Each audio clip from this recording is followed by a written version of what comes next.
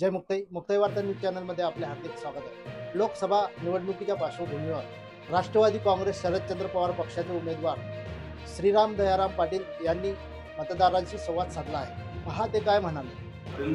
दोन हजार चोवीस लोकसभा निवडणूक रावेर लोकसभा मतदारसंघात मी आपल्यासमोर महाविकास आघाडीचा उमेदवार म्हणून उपस्थित आहे.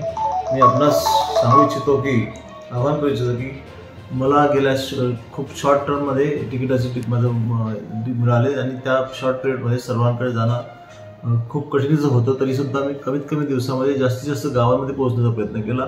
गावात पोहोचून काही गल्ली गोड माझ्याकडे राहिले असतील का सर्वांशी संपर्क साधला गेला नसेल तरी त्याबद्दल मी दिलगिरी व्यक्त करतो. त्याचप्रमाणे काही गावं सुद्धा सुटली असतील आपल्याला कल्पना आहे की हा मतदारसंघ जवळजवळ अडीचशे किलोमीटरचा हा मतदारसंघ असून या मतदारसंघामध्ये जवळजवळ आठशे ते हजार गावांचा एक असल्यामुळे सर्व गावांमध्ये पोहोचणं शक्य झालं नाही. त्याबद्दल मी आपली सर्वांची मतदारबद्दलची दिलगिरी व्यक्त करतो.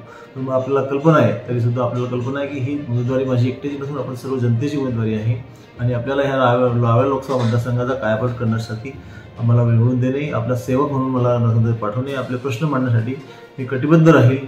पण आपल्याला आवाहन करतो की येणाऱ्या ते तेरा मे रोजी आपण दुतारी तुतारी बाजारावर माणूस अनुक्रमांक तीन या बटन दाबून जास्तीत जास्त मताने विजयी करावे व आपल्या रावेर लोकसभा मतदारसंघाचा काय कायापालट करण्यासाठी माझी निवड करावी व जास्तीत जास्त मताने आपण स्वतःला आपल्याला व मला निवडून द्यावे ही विनंती करतो.